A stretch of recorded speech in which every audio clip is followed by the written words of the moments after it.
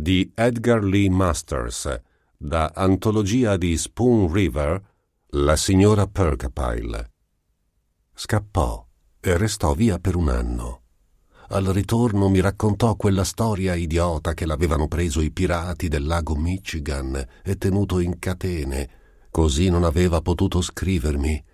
Finsi di credergli, ma sapevo benissimo cosa faceva e che si vedeva con la modista, la signora Williams, di tanto in tanto, quando andava in città per acquisti, lei diceva.